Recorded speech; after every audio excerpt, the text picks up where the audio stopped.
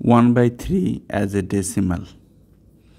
So to convert this fraction to decimal, we have to divide this numerator by this denominator.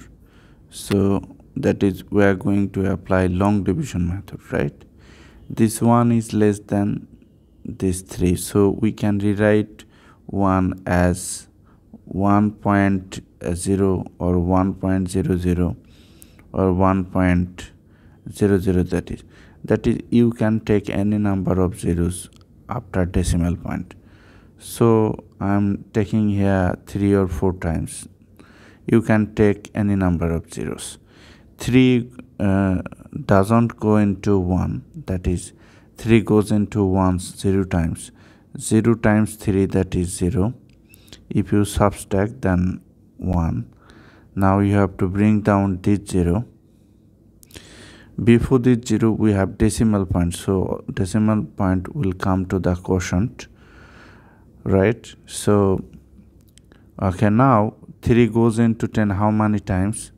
3 times 1 that gives us 3 3 times 2 that gives us 6 that is you have to add 3 with these 3 you will get 6 3 times 3 that goes uh, that gives you 9 and 3 and times 4 12 that is we'll consider here we have 10 but here uh, we have 12 for 4 3 times 4 so we should consider th this step which is 9 so 3 goes into 10 uh, 3 times. 3 times 3 that is 9 right? Subtract 1 now bring down bring down the second zero. 3 goes into 10 3 times. 3 times 3 that is 9 subtract 1 bring down this 0 here. 3 goes into 10 3 times. 3 times 3 9 and this process is never ending right this process is never ending process. Bring down this 0 so 3 goes into 10 how many times? 3 times.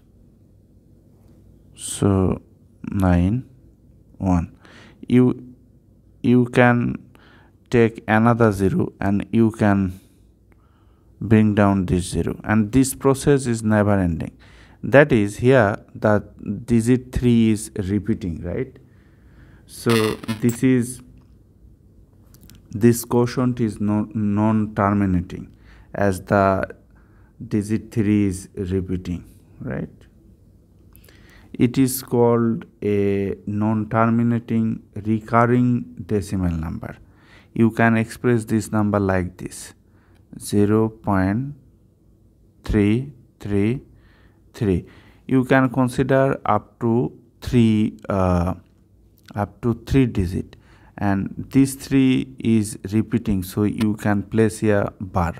Or you can express 0 0.3 and then bar. That is this 3 uh, is repeating infinitely.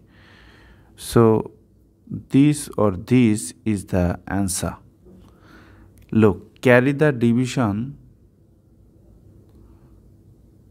three places if the numerator does, does not divide uh, evenly into the denominator.